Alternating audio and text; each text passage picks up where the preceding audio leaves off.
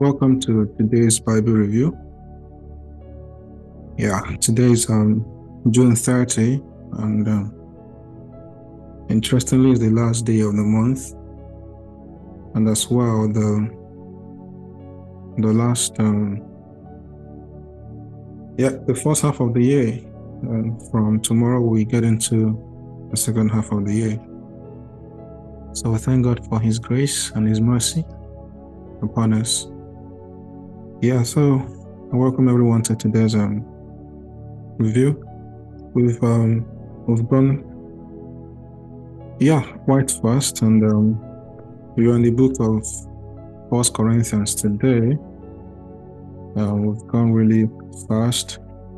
Matter of fact, we read um, First Corinthians chapters eight and nine today.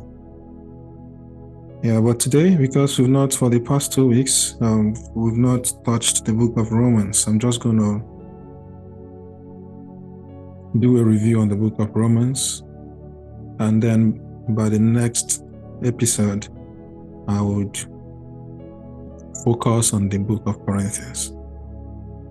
So the book of Romans, as the name implies and suggests, was Paul's later to the church in Rome at the time. This is the first epistle, as in the way it is arranged in the scriptures. After the Acts of the Apostles, then you get the book of Romans. And um, yeah, this is a, a very powerful scripture. It's very powerful because it embodies it embodies um, every truth, very fundamental truth that we need to know as believers, understanding the very core reason why we are saved and how that can happen, and then how to conduct our lives as people that have been saved.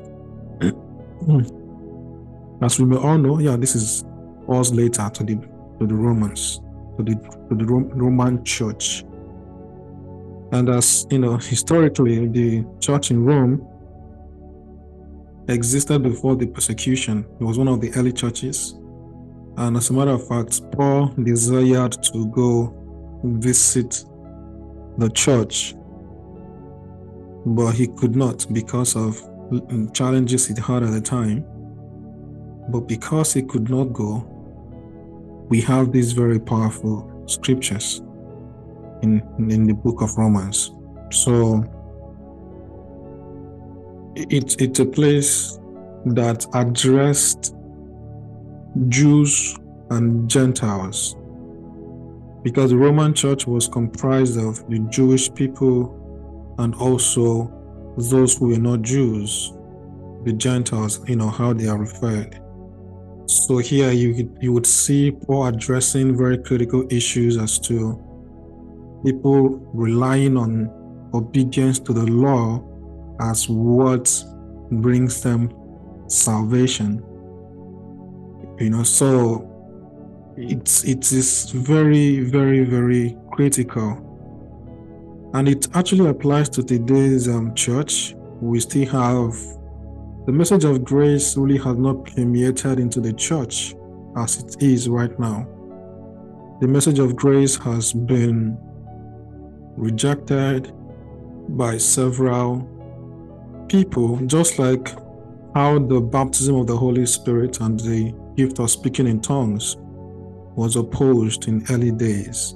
That is how the message of grace has not really been accepted so, if you want to learn and understand the purpose of grace, what grace means in the context of our faith, and what that can obtain for us as children of God, the book of Romans is a place to lay hold onto.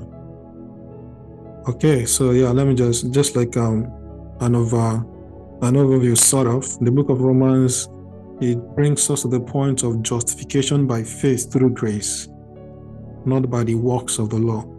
You know, Paul made both say that we can conclude that it's only by grace through faith that we are saved, and not by any other means. And So I'm just going I will be touching those. I'll be touching those very critical um, passages in the in the in the course of this short review. So yeah, um, I'm excited to do this review once again because I know it would encourage some people who have not joined us to join us. And um, yeah, um, still time. Um, this will be by tomorrow. We're going to be entering our fifth month, and then we are close to rounding off the reading because we hope to be rounding off this by August. So you can still join us anytime you wish to join us. There's no place you start from the Bible that is not rich to teach you everything that you need to know. So now, chapter 3 begins to tell us the depravity of man. Yeah, I think basically when you look at chapter 1 quickly, when you look at chapter 1, you would see from, I think from verse 24, you begin to see how that men were depraved because they rejected, you know, they rejected God and all that God commands us. And then the Bible said that they were given unto unto their own um, delusion. Okay, yeah, so that's like they were given unto their own delusion because they rejected what God presents before us. So that is sort of selling, saying to us that um, man naturally, by origin, by birth, you know, it's so strange that how it is, but that is the truth. By ordination, man is born with a sin nature. So no one would, except for Jesus Christ and except for for John, who was anointed from the belly, as the Bible tells in the book of Matthew, um, book of Luke, chapter one every man that is born has that limitation of being born into sin. So that man, that child, that person needs the intervention of the grace of God, which has been made available to us through the sacrifice that Jesus made on the cross to come into union with Christ, to come into relationship with God, to become a child of God. So the chapter 3 here begins to let us understand the depravity of the natural man. He said there is none righteous, no not one. There is none who understands, there is none who seeks after God. That is the natural man, the very wiring of the natural man. Natural man is repulsive, is disobedient, is, is not in alignment with Christ. So, but here now there is an intervention and why this is important is because when you now want to rely on your good works, you know, I've always emphasized so much on good works, and good works are good. We do good works because we are saved. We don't do good works so that we can be saved. There's nothing we can do that can procure salvation for us. Nothing can purchase salvation for us by our own workings, by our own whatever we think that that is what would buy that for us. Jesus has made that available to us. Okay, so this is why this is very important. I'm still going to touch touch on that in the course of this very shortly. So now, when this has laid down to us, like how depraved, how ungodly the natural man is, and is subject to destruction, we now see when you look at chapter 3, um, from verse 19, I'll just push there. It says, Now we know that whatever the law says, it says to those who are under the law, that every mouth may be stopped, and all the world may become guilty before God. That's for those that are resting on the law. Therefore, by the deeds of the law, no flesh will be justified in his sight. That is in the sight of God. For the law is the knowledge of sin. Then, verse 21 now says, But now the righteousness of God apart from the law is revealed being witnessed by the law and the prophets. I don't know if you can get that. The law and the prophets refers to the old covenant, refers to the, the laws of Moses, the commandments. It says that there is now a salvation, that there is now righteousness that has been made available, and that that has been revealed has been witnessed by the law and the prophets. So it it authenticated. It is, you know, when you say something is authenticated, it has passed through the, the testing periods and has been proven to be legit. So the, the this righteousness that we're talking about has been tested and attested to by the law and the prophets. He said, even the righteousness of God through faith in Jesus Christ. To all and on all who believe, for there is no difference. Verse 23 says, For all have sinned and fall short of the glory of God.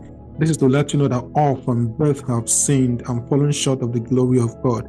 So, which is to say that you need this very um, sacrifice that Jesus has made, which is the difference, the difference maker in our history, in our faith, in our walk with the Lord. This is the difference maker. This is what distinguishes us from others. All right. So you, you, the fact that you are born into a Christian home does not really automatically make you a child of God. There has to be a time of decision where you will decide by your own volition to make Jesus your Lord and your Savior. Okay, so now for all have sinned and fallen short of the glory of God. That is directly from the experience of man through Adam. Okay, the the the, the we encountered, the, the man inherited from Adam, that fall that occurred in the garden. So no one can rest on his own good works to bring the person close to Jesus. But by Jesus Christ's uh, by his by Jesus Christ's redemption, by the sacrifice he has made, through his blood, the, the blood of propitiation, that is what on this basis that we can come to Christ. So I think this is very important for us to really understand it. So going to church every Sunday, attending fellowships every Sunday, all of these things are good. They are very, very good. But there would be a time of decision where you have to deliberately, to deliberately decide and resolve within you that you need to, by faith, access peace that Jesus has made available to us, which is salvation. Okay, so that is important. If you want to understand the inheritance of man through Adam, which is the failure, you will need to look at verse chapter 5 of, um, the, of the book of Romans. Chapter 4 tells us about the our patriarch Abraham and how through faith he was able to lay hold the promise that was made. Yeah, so uh, that is an interesting place too. Chapter 5 begins to tell us that we have been justified by faith. And because we've been justified, we now have peace with God through Jesus Christ.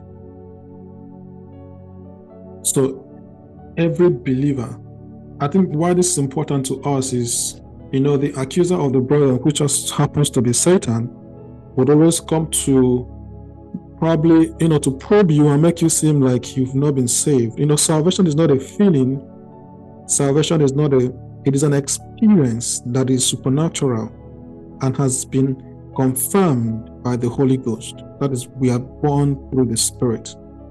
So when the devil comes to begin to test and make you seem as if that has not that has that has not happened, yeah, Jesus, um, the Bible is it's letting us know that that we that have been justified by faith, have you exercised that faith? Have you exercised it? If you have exercised that faith to invite Jesus into your heart as your Lord and your Savior. says, Therefore, having been justified by faith, we have peace with God through our Lord Jesus Christ. You have peace with God through Jesus if you have been justified by faith, and that is by you believing in the sacrifice that Jesus has made accepting Jesus as your Lord and Savior, you have been justified. Therefore, you have peace with God. God is not mad with you. God is not um, God does not hate you. God is not God is not at war with you. God is we have peace with God. He loves us. So this should this should encourage you. I don't know the situation that you're in right now, and it seems to you as though God is mad at you God is not. Okay, God loves you. If you we have read the book of John chapter 3, he says, For God so loved us, God so loved us that he sent Jesus. So that sacrifice that Jesus made is what has brought us at peace. We are now at peace with God. We now have peace with him. So this should also to stand stand strong on what you believe in and resist the devil, and he will flee. The devil has to flee from you. Okay? So this is what I mean. It's important here. When you read down in Genesis chapter 5, you go, you would see that through the disobedience of Adam, that everyone that was born by man was subject to death and condemnation. But then there was an intervention. There was an intervention, and that intervention is by Jesus Christ. Okay? It says, For by one man's offense, when you look at verse 15b, for by one man's offense many died, much more the grace of God and the gift by the grace of the one man Jesus Christ abound to many. I'm rich. I'm using the, the New King James Version, so maybe that might make it look the way it's sounding. You can read this with a simpler version like the NLT, you can read it with the message translation, you can read it with NIV or the AMP, that's the ampli- amplified version. Any of these can help you really comprehend what this is saying. Now it's saying that it's seen by input um how do you put it imputing like you know in, to impute sin all right? So through the offense that adam committed in the garden the, through the high treason that adam committed every man that was in that born in the nature of man died. Every man of every man that let me tell you anyone that is walking this earth right now that has not accessed the grace of jesus and come to this relationship is deemed dead before God because a sinful man has no relationship with God. A sinful man and living in sin, living in the nature of Adam is in the nature of death. That is called the nature of death. So the if any man has any man, whoever that is, it this is not class dependent, whatever stage in life the person is. I'm sorry to break this news, but yes, if you have not accepted Jesus as your Lord and Savior, you have no relationship with God. Remember that God told Adam, The day you shall eat of this fruit, you shall what? Die. Okay? The day you shall eat of this fruit, you shall die. So that death is not a physical death. It is natural, it is spiritual, spiritual death. So, a sinful man, a man that has not accepted Jesus today as a Lord and Savior, is deemed dead, just like Adam died before God. Okay, so I think this is important for us. He says, So by the offense of one man, many died, but because of the grace that abound in us through Jesus. Okay, this is where there is a restoration. It says, And the gift is not like that which which um, came through the one who sinned. For the judgment which came through one offense resulted in condemnation, but the free gift that came from many offenses resulted in justification. For if by the one man's offense death reigned through the one, much more those who receive abundance of grace and of the gift of righteousness will reign in life through the one Jesus Christ. So if death reigned through one man, so now, if you are in Christ, you have received the abundance of grace and the gift, mark the word, the gift of righteousness shall reign in this life through Jesus. Abundance of grace, gift of righteousness. That what does that tell you? Righteousness is a gift, is not what you what you work for or what you acquire by conduct. I think this is hard. Maybe it's hard for some to take it in but righteousness is a gift. The Bible says in the book of First Corinthians chapter 1, verse 30, it says that through God, it says um, through Jesus, so Jesus has been made unto us. I'm sorry, Jesus has been made unto us, says um, righteousness, wisdom, sanctification. So righteousness is a gift. It's a gift that God has given us. It's a nature of God. For God, the Bible said that righteousness and justice are the foundations of His throne. So we receive the gift of righteousness through the grace that has been made available to us, and that is through the death of Jesus Christ. Yeah, so I think this is important. And what does that tell you? If you have this abundance of grace and this gift of righteousness, what are you entitled to? You are entitled to reign in this life. What does it mean to reign? To have dominion. Okay? To have dominion. The Bible says in the in the our ordination in creation when in the book of genesis when God wanted to create a man in Genesis chapter 1, verse 26. From there it says, Let us make man in our own image and let them do what? Have dominion. To reign in this life is to have dominion.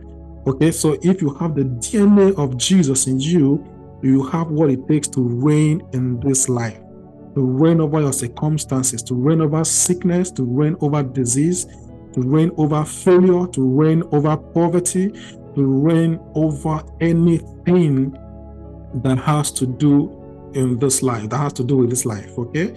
That is what it means to reign. So you should not be suppressed by the powers of darkness. Some of you, when you sleep, you feel like you are attacked as there is a spirit that is chasing you.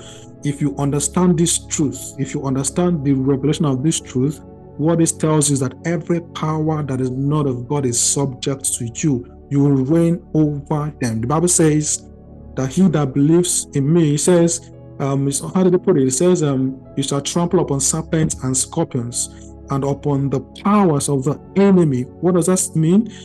Everything that the enemy thinks he thinks he has, you can tread them, trample upon them. It says to trample them under your feet. Okay, you trample upon them. So you are to reign in this life. If you have Jesus, you have the potential, the capacity, the ability reign. In the place where you are working you have what it takes to reign. In your school as a student you have what it takes to reign in your class not as bossing around. What that means is to reign over every limitation every non-limitation that the natural man is subject to. I think I'm dwelling so much in that. Chapter 6 is also a good place. It begins to tell us about, because that's not talking about the conduct, how we are to live our lives, and that is that our bodies should be an instrument of righteousness and not an instrument of unrighteousness. So that is very important. Chapter 8 now begins to unravel the you know the underlying purpose of why we are saved. It says there is therefore now no condemnation to those who are in Christ Jesus who do not walk according to the flesh, but according to the Spirit. For the law of the Spirit of life in Christ Jesus has made me free, made you free from the law of sin and death. You know, when you see this law of sin and death, I know you'll be thinking, oh, law of sin and death, what could that mean? Interestingly, do you know that the law of sin and death is referred to in the book of First chapter, um, Second Corinthians chapter three, um, yeah, chapter 3, there it refers to the old covenant as the law of death. So when it says that you have been you have been set free from the law of sin and death, do you know what that means? The old covenant, the laws of Moses, the commandments, and all of those. So which is what it, it's the law of sin and death. So if you are living in the law in the old covenant, you are living under the law of sin and death. You are in bondage. You are in bondage. If you want to understand a burden that follows being under this old uh, covenant relationship, go to the book of Deuteronomy, chapter 28. You know, one thing you should understand in this is you do not, if you do not, you know, you cannot be just a good keeper of the law. You have to be a perfect or the best keeper of it. Let me make my point. You cannot get 99 over 100 in keeping the law if you get 99 over 100 in keeping the law, what does that mean? You have failed it all. So the law requires that you abide by every tenet, every principle, every doctrine, everything that it commands 100 over 100, 100%. In the book of Deuteronomy, and time is not on my side, I want just to keep this as short as possible. It says, if you do not obey all, okay, if you do not obey all. Mark the word all. Okay? So, what that means is you have to obey all of them. It says in verse 1, first of all, says this, you know, now it shall come to pass if you do not obey obey the voice of the Lord to observe carefully all his commandments, all his commandments, which I command you today, the Lord your God will set you high above all nations. All, you must obey all. But then, if you do not obey all, there is punishment that comes with it. It's it, it's terrible. So I would just want to let you know that relying on the law is keeping you in bondage. Okay, it keep it keep you in bondage. Now, these promises of Deuteronomy chapter 28 are the things we are entitled today to today because of what Jesus has done. We are entitled to the to the blessings because of what Jesus has done. So now it says, For you have been set free from the law of sin and death. There is now no condemnation for you. I'm talking to whoever that feels condemned. I don't care what it is that you're feeling condemned about. I don't want to know the situation. I don't want to know. Maybe you can regard that as the worst sin of your life or the worst sin in life. There is no sin as thick that the blood of Jesus cannot cleanse it. Okay? Every sin is subject to be cleansed by the precious blood of Jesus. So there's no condemnation for you. So I want you to speak to that voice that is condemning you, that voice that is telling you that you are not enough, that voice that is making you feel less of yourself, making you feel less of a human, less of whatever gender you are, you are male or female, less of what you have been naturally by God endowed with. So I want you to speak to that voice and let the voice know that there is therefore now no condemnation for you. Speak it yourself. There is therefore now no condemnation for me because I'm in Christ Jesus. Okay? You walk according to the Spirit and you don't walk according to the flesh. You're not subject to the law. You have been set free. The Bible said that he that the Son of Man has set free is free indeed. You are totally, completely, absolutely free. You are not bound by anything that the devil is throwing at you. Okay? Yeah, so I think this is very important for for us to know. That is why it is good to read this Bible because there are several promises. I cannot just do them in this very short review that I'm doing. Okay, or like I used to say, this is just to whet our appetite to help us to also want to read. Okay, I may not, like, not I may not, I will not, I'm not able to touch everything. Okay, but when you read this, you really um, appreciate everything that we have in Christ. When you go to verse 11, it says, But if the spirit of him who raised Jesus from the dead dwells in you, he who raised Jesus, he who raised Christ from the dead will also give life to your mortal bodies through his spirit who dwells in you. He says, If that spirit dwells in you, how does the spirit dwell in you? When you accept Jesus, your Lord and Savior, that spirit dwells in you. And what will that spirit do? He says, The spirit will quicken your mortal body. So, sickness in you, whatever that is troubling you, by the power of the Holy Ghost that is resident in you, that sickness can go. Every form of weakness, I rebuke it in the name of Jesus and I command it to go. I'm just speaking to that sickness right now. I command it to leave your body right now in the name of Jesus. Okay, so that is what you should understand. So it's a good mind. It's a good mind. You have the Spirit of God in you. You are unstoppable. You are not limited. Okay, that Spirit that raised Christ from the dead dwells in you. When, when, when you understand this truth, you will now begin to realize that you're not an ordinary person. You're not the ordinary person you see yourself to be. I usually, you know, talk about Gideon when Gideon was called to to lead his people out of the hands of the Ninanites. Is it Ninanite they call them? Um, I'm not sure I got I got the name correctly now. But yeah, but when he was caught, when Gideon was caught, Gideon saw himself as one weak fellow that is from the descent that is weakest among his brethren. But the angel spoke to him and called him mighty man of valor.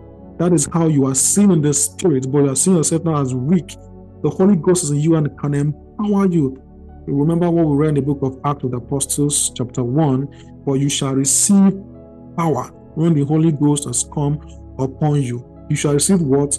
Power, dunamis. You shall receive power. So potentially you have that power in you, but in operation, operatively, it is not working because you have not understood this. That is why it is important for us to read the Bible, to get to know this truth, to get to know what we have, the, the advantage we have over life because we are in Christ Jesus.